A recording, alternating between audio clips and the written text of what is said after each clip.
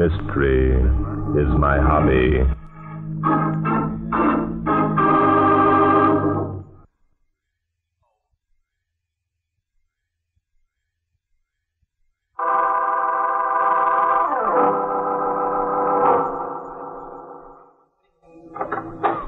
Uh, Senor Roberts, come in, please. Well, Marini, have you reached a decision? Uh, sit down, please. Pour yourself a drink. Never mind the drink. Hey, what's the matter with you? You're white as a ghost. Your hands are trembling. Has anything happened? Uh, si, senor. Much has happened. Pardon me, please. I think a small drink. Ah, such excellent wine. Like a breath from my native Estrieto. Your native Estriata will have no breath at all unless you stop this shilly-shallying around. Where are the papers? Papers? Look, Marini, quit stalling. Tonight is your last chance. Either you give me the signed agreements or I... Or you will disgrace my country. You will arrange it so that my government is deprived of its seat at the conference, eh? Don't think I can't do it, Marini. I don't make idle threats. Of that I am sure, Senor Roberts. For years you have kept my country of Estrieto under your thumb with threats, none of which were idle. Many of my people Oh, have died. Oh, look, Marini, don't start all that again. I've already told you that the Roberts Amalgamated Rubber Company has agreed to pay you two cents more a pound for your raw rubber. You realize what that'll mean to your people, Marini? I realize precisely what it will mean, Senor Roberts. It will mean that my people will be forced to continue living in virtual bondage. There will be no freedom of trade. We will be unable to take our rightful place among the nations of the world. Rubbish. This increase in the price of rubber means that the people of Estriata will prosper. All of them. They'll enjoy a better way of life. They'll be able to buy many of the luxuries you. For how long, Senor Roberts, eh? A year, perhaps? Until the war with Japan is finished? no, my friend, I listened to you once. I shall not again make that mistake. Are you telling me that you're not going to sign the agreement? That is exactly what I'm telling you, Senor Roberts. Marini, you're a fool. When your people know that Roberts Amalgamated Rubber is offered two more cents a pound. My they- people are already aware of your offer, Senor. What? Oh, so that's it. All this time I've been patiently waiting, you've been selling me down the river. Sailing down the river? Another of your amusing American expressions, eh? No, please. I have no desire for an explanation. I'm quite content. Content? Huh. You don't look contented to me, Marini. You look half shot. Half shot. Explain that, please. Half shot. I don't like the word shot. With a gun, you mean, huh? Hmm. Maybe that's an idea. Marini, has Seymour been here tonight? Seymour? Jim Seymour, president of the Standard Rubber Company. That is a question I do not care to answer. Oh. That's how things are, eh? All this noble talk of the freedom of your people is a lot of hogwash. You've made a deal with Seymour. Senor, I have made deals with no one. My efforts have been devoted to drawing up a formula for presentation to the Latin American countries. What kind of a formula? A formula that, if ratified, will bring the inter-American security system into the framework of the World Peace Organization. So it finally got you, eh? All this ballyhooing about world peace has made you punch drunk. You believe I believe only that it is better to live in freedom than in bondage. I believe that self-respect is more important than the luxuries with which you're trying to bribe me. Bravo, bravo. I believe the basic purpose of this World Peace Conference is to destroy such money-grasping men as you, Senor Calvin Roberts. It is you and all your kind who are responsible for wars. Well, well, well. Marini, I didn't think you had it in you. Ah, there is much in me and in all my people which you did not suspect, Senor. A man's pride is something you do not understand. Could be. Uh, this uh, formula that you speak of, Marini? See, this formula, Senor Roberts. Tonight it is here on my desk. Tomorrow it will be presented to the entire assembly. I see. Tomorrow Estrieto will assume her rightful place among the nations of the world. The Senor Calvin Roberts will have to look elsewhere for his robber. Poor but proud, eh? A noble sentiment, Marini. okay, you win. I win. Marini, you're a smart cookie. I don't blame you for pulling a hold up when the chips are falling your way. Two and a half cents. Hold up. Chief, Senor, I'm perplexed. You Three talk... cents. Is it possible that you do not Three and one half. That's absolutely my top. So quit acting and be your age. I'm not kidding. Senor Roberts, I am not acting, as you call it. There is nothing you can say or do that will change my mind. Adios. Now, wait a minute. Please, senor, I have much to do before tomorrow. Listen, Marini, you're not shoving me around.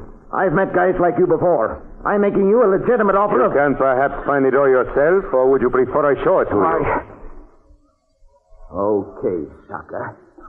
So you kidded me all along while you worked out your precious formula and sold it to the other representatives here at the conference. So I'm a dope. As you prefer, senor. Well, you're not going to get away with it, see? Marini, we've got ways of handling guys like you. Believe me, that formula you're so proud of will never be presented to the assembly. I think you are mistaken, senor. Mistaken, eh? You'll see how mistaken I am.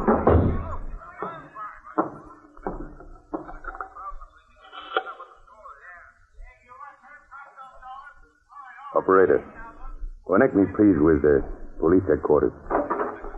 Ah, my friend, you have the gun. I can see by the expression on your face that you think the gun in your hand will answer all the problems that confront us. Huh? No. There are others beside myself. The formula is. Oh. You cannot destroy. You cannot. No.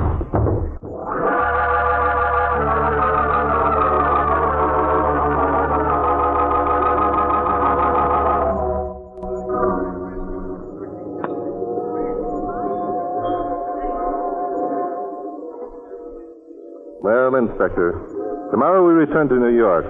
I suppose you're pleased. I can take it all right. you know, Bart, this isn't my idea of a peace conference. No, so? What's peaceful about it? Look at everyone dancing and hooping and hollering around. These people that you see here, Inspector, aren't the delegates. They're the entourage.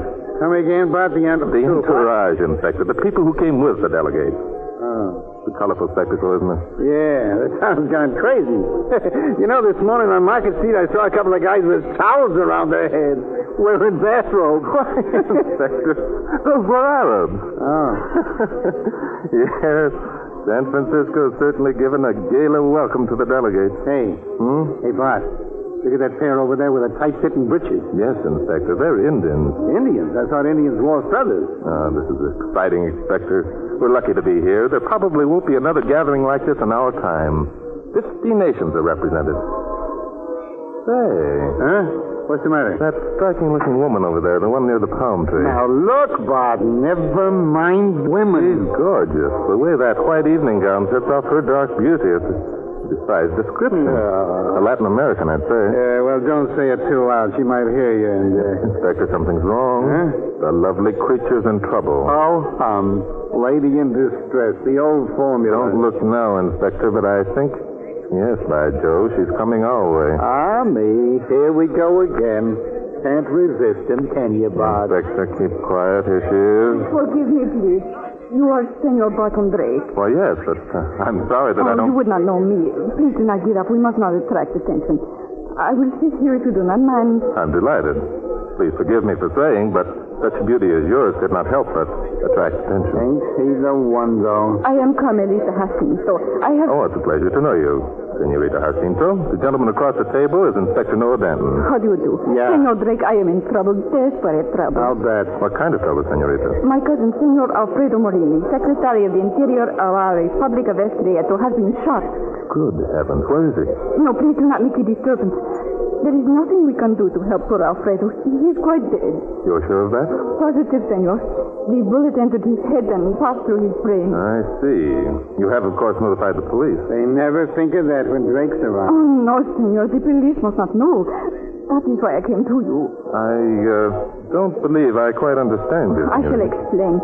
The conference must be kept unaware of Alfredo's death until tomorrow night. Oh, so? Alfredo prepared certain papers, a, a formula for bringing the inter-American security system into the world organization. I understood that Marini was working out some such plan. And all of the Latin American countries are depending upon the presentation of the formula at tomorrow's session.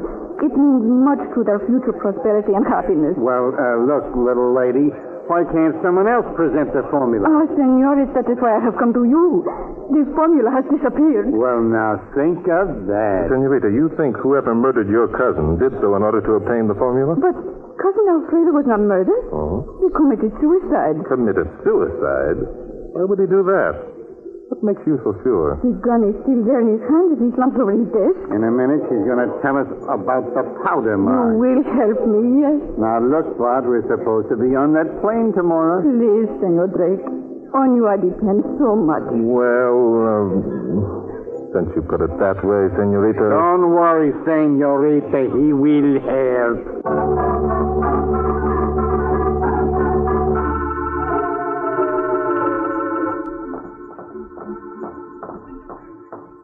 This is the room here.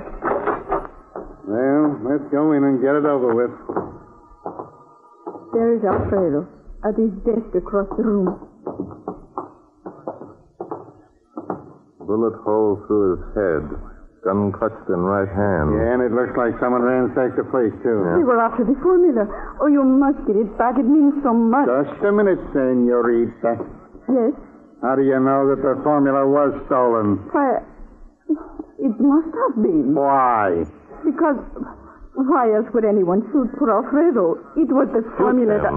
Senorita, a moment ago you were positive that your cousin committed suicide. Well, I. Oh, you have confused me so. now I am sure of nothing. Uh, Bart, I'm beginning to smell something. Yeah. Senorita, if you expect our help, we must have the truth. You. You shall have the truth, senores. Very well. Please tell us exactly what happened.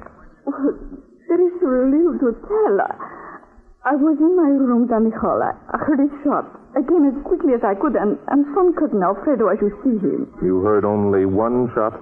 Yes. Senorita, I'm afraid I can't believe your story. There are too many discrepancies. Yeah, for my money, this baby. Inspector. Huh? In the first place, there were two shots fired. The first missed Senor Marini and entered the wall, here behind him. Oh, that I did not know. That's your story. And in the second place, Senor Marini did not commit suicide. No? No. The bullet, as you can see by the powder marks, entered Marini's head from the left. The gun is in his right hand. Bart, you got something there. Yes, Marini was murdered. Whoever murdered him wanted it to appear like suicide. Yeah, that adds up all right. Obviously, the motive for murder was a formula. Inspector, we're going to find out what became of that formula.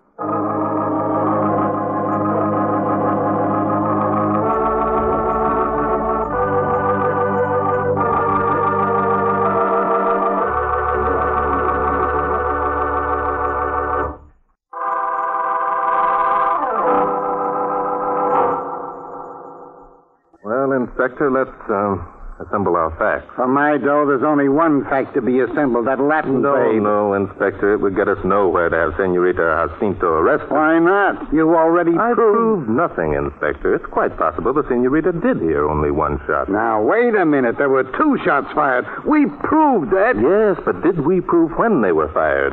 The bullet hole in the wall could have been there for a week. Yeah. Huh? We had no evidence that the Senorita shot her cousin and then placed the gun in his hand. Say, whose side are you on? Our chances of getting that formula back will be far greater if we arrest no one for the present. Finding the formula is the important thing, Inspector. Good idea. But who's got the formula? I think that one of three people has it, Inspector. Yeah? Mm-hmm. I've been making some inquiries during the past hour. There are two gentlemen to whom it would prove decidedly advantageous to have that formula never presented to the conference. Yeah? Who are they? Well, one's a man by the name of Calvin Roberts. The other's named James Seymour. Both are manufacturers of rubber goods. They've been buying their raw material from Estrieto. And naming their own terms, eh? Yes, unfortunately. The people of Estrieto have been unable able to benefit by rising prices in the world's rubber market. Sounds like a racket. It is a very profitable racket for Robertson Seymour. Okay. Who's the third suspect? Senorita Jacinto. Now, wait. You just said. Inspector, I wish you'd do me a favor. I want you to step up to Calvin Roberts' room and have a friendly chat with him. And uh, what will you be doing? I, Inspector, have a date with a very lovely lady.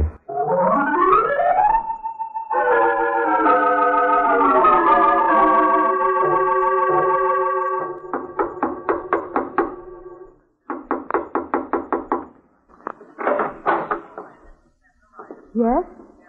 Oh, I beg your pardon. I'm looking for Mr. James Seymour. how nice. I'm Mrs. Seymour. Won't you come in? Thank you. My name is Barton Drake, Mrs. Seymour. I'm a private detective of sorts. A detective, how exciting. Please sit down. Well, I. No, here in the divan beside me. There. Now, tell me all about it. About uh, what, Mrs. Seymour? Oh, about whatever it is that private detectives talk about when they call on uh, prospects. Uh, your uh, husband isn't in, then. No. James flew to Chicago this morning. He frequently leaves me alone. You're quite sure that your husband left for Chicago this morning, Mrs. Seymour? Of course. Oh, I see. There's no danger of his returning unexpectedly, Mr. Drake. You're quite safe. I'm afraid I've given the wrong impression, Mrs. Seymour. I really hope to find your husband in. Oh, how dull. I wanted to see him on uh, a business matter. How dreadfully dull. However, perhaps you can help me? Really? Possibly you've heard your husband mention a certain Senor Marini with whom he had some business dealings? Oh, but of course, Alfredo. We've known him for years. Really? Oh, he's such a dear. But then all Latins intrigue me. They're so mysterious. Don't you think, Mr. Drake? Well, as a matter of fact, I haven't. Only last summer, James and I spent a month at Alfredo's hacienda in Bolivia. Oh, so. Oh, it was delightful. There, um, there was a broad veranda overlooking the sea. We ate all our meals there. The Latins do so like the out of doors, you know. Yes. Mrs. Seymour, tell me, did your husband happen to mention that he had uh, concluded a business transaction with Senor Marini before he left for Chicago? Business transaction? Yes. Mm, yes, I believe he did. It had uh, something to do with rubber. Yes, that was it, rubber. And Mr. Seymour was quite uh, satisfied with the details of the transaction? But of course, otherwise James would not have left for Chicago. I see. Have you talked to Senor Marini since your husband's departure, Mrs. Seymour? Why, no, I haven't. Why? Nothing, except that the thing. I'm afraid that you seem to have another visitor. Oh, dear. Just when our little tete-a-tete was becoming interesting. Please don't disturb yourself, Mr. Drake. I'll get rid of whoever it is. Senora Seymour, I have come to ask. Oh, Senor Drake. Come in, my dear. You know Mr. Drake? Not only do I know him, but I think also I know why he's here. Senorita, if you don't mind, I... But I do mind, Senor. This I do not like. I have hired you to work for me, and I find you making love to this. Making love. Now, just a minute. Oh, I do think the poor dear's jealous. He's Latin. He's still, you. I don't blame you, my dear. Mr. Uh, that is, Senor Drake is attractive. Just in another moment or two, Mrs. think. Seymour, before we carry this any further, there's something you should be told. Oh, how droll of you, Barton. Really, you don't have to explain. This child has been jealous of me for years. You be still. Yesterday, she accused me of flirting with Alfredo. Imagine why Alfredo was old enough. to- Alfredo, Mrs. Seymour, is dead. What? He was shot early this evening. Oh, no, I I don't believe it. Can't be so. You are so shocked, Senora. I wonder if your husband would also be shocked at the news. What do you mean by that? Nothing. Except that I have learned that Senor Seymour did not leave for Chicago this morning as he told. He did not leave until an hour after the death of Cousin Alfredo. Oh, that's ridiculous. I saw him off myself. That is one lie. Of this I'm sure. Just a minute, Robert Noble. Keep away from me, Truth. I'm settling this thing right now. Which one of you is Barton Drake? The brunette. Very funny. Are you Drake? Yes, I'm Barton Drake. You must be Calvin Roberts. That's right, Calvin Roberts. Listen, Drake, call off your bloodhound here. Are you referring to Inspector Danton? Inspector? Who, him? Yeah, me? I tried to tell you, but you talk too much. Ah, you were always so loquacious, Calvin. Keep out of this, Ellen. What's this all about, anyhow? What's the police inspector want to question me about? You're sure you don't know? Of course I don't know. Senor Roberts knows very well. It is he who stole the formula. Formula? What formula? Look, will someone tell me Someone what has already told me that you were in my cousin's room just before he was shot. Shot? Maureen? Oh, come, Calvin. Stop pretending you're so unconvincing. Oh, yeah? You keep on talking, Ellen, and I'll tell him about Jim Seymour. Things had nothing at all to do with this, Calvin. Me? I think they are all guilty. Now we're getting places. But all we have to do is give this bunch enough rope and they'll hang themselves. The hanging is all over, Inspector. Huh? What are you talking about, Drake? The inspector and I have been playing a little game, Mr. Roberts. Pure nonsense. This game playing I do not like. I'm so excited. Tell us about the game, Barton. There's Not much to tell. People who are guilty of a crime and pretend innocence usually get caught in their own trap if allowed to talk enough. Drake, do you mean that one of us has said something that would uh, indicate a guilty conscience? Precisely. I don't believe it. This is not what I expect. Of course you didn't expect it, darling. The guilty never do. You are accusing me. Okay, Drake. You're so smart. Who's got the formula? Inspector Danton, it's in his pocket right this minute. There you. Huh? More than that, the inspector can also put his finger on evidence that will prove conclusively who murdered Signor Marini.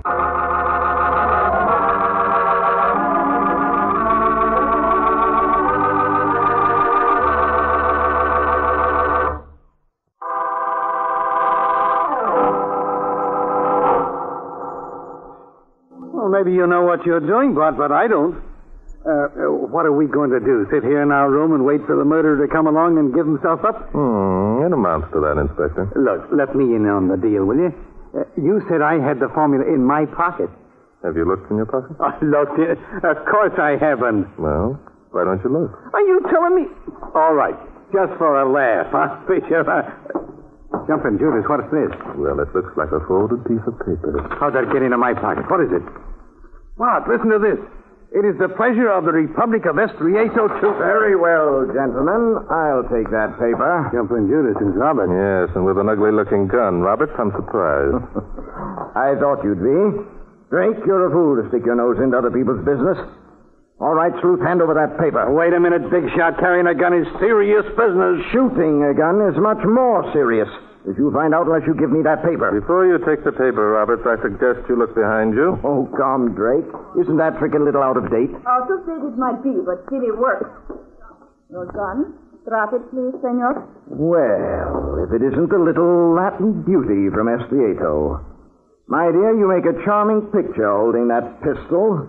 It gleams like the angry lights in your eyes. You will drop the gun, senor. Before my pistol spits like the mouth of a rattlesnake. All this pretty talk and nothing happening. Now, who's going to shoot who? Look out, I know you. Inspector, grab him.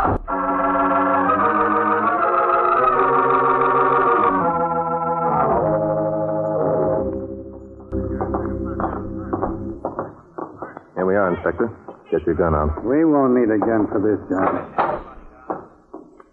Why, Barton. Again so soon? Yes, and for a very good reason. All right, Mrs. Seymour, I'll take that formula. Formula? Inspector has it, you said. No, my dear. The paper that Inspector Danton found in his pocket, I placed there myself. Placed it there yourself? But I, I don't understand. I'm afraid you understand quite well, Mrs. Seymour. I'm surprised to find that you're still here. Why shouldn't I be? Perhaps you hoped that either Carmelita or Roberts would kill us when they came looking for the formula, which they thought we possessed. This is ridiculous, and you have no proof that I stole the formula. Not only have we proof that you stole the formula, we have proof that you murdered Senor Marini. I don't believe it. You're, you're trying to trick me. Mrs. Seymour, you were the only one who knew that I was lying when I said the formula was in Inspector Danton's pocket. You knew it because you had it yourself. You see? It was a gag Bart and I dreamed up. We knew that the two people who didn't have the formula would come looking for it. You weren't one of them, so we... Of all the dirty tricks. Your husband, Mrs. Seymour, was picked up last night in his hotel in Chicago. It was smart of him to leave you to do the dirty work, but not very gallant. I understand. I'll Okay, you win. There's nothing I can do but hand over the stolen goods. Now, that's smart, lady. I have the papers here in my purse. Inspector, she has a gun in that purse. You said I have, Drake? Now get this, you two. You shot the gun right out of her hand. Will these dames never learn that guns are made for men?